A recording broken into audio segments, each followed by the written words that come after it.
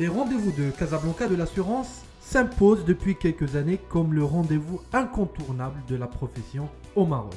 Réunissant compagnies d'assurance marocaines et africaines, régulateurs de tout le continent, cette quatrième édition des rendez-vous de Casablanca de l'assurance se penchera sur l'expérience client à l'ère du digital. Hassan Bobrek, patron de l'autorité de contrôle des assurances et de la prévoyance sociale, explique les enjeux du digital dans ce secteur.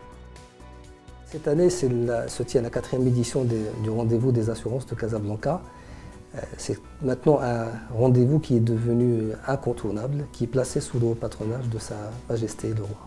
Nous assistons à une transformation globale de la chaîne de valeur, à l'émergence de ce qu'on appelle les, fintech ou les insurtech, c'est-à-dire des compagnies, des start-up euh, technologiques qui commencent à investir le domaine des assurances particulièrement dans l'assurance, la digitalisation, la révolution numérique questionne les modèles mêmes euh, sur lesquels repose le business model des assureurs, qui est celui entre autres de la mutualisation. Aujourd'hui, nous pouvons connaître à la fois les risques de manière extrêmement fine à l'aide des objets connectés, euh, et demain donc euh, se, pose la question du sacro-saint principe de la mutualisation et ce qui continuera d'exister avec une tarification qui devient plus fine et au plus près.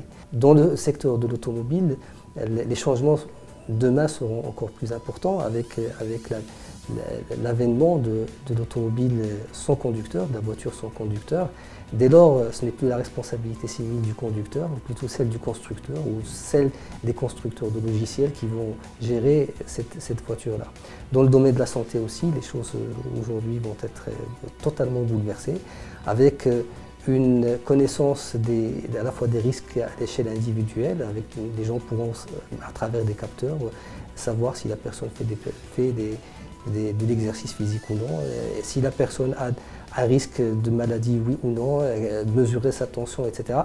Donc cette connaissance extrêmement précise des, des, assurés et des risques va, va questionner beaucoup le modèle de l'assurance. Comme chaque année, les rendez-vous de Casablanca de l'assurance mettent un pays africain à l'honneur. Cette fois-ci, ce sera le Sénégal. Et je pense que les débats euh, lors de ces deux jours euh, du rendez-vous de Casablanca seront extrêmement instructifs. Les rendez-vous de Casablanca de l'assurance démarrent le 19 avril et se poursuivent jusqu'au 20 avril 2017.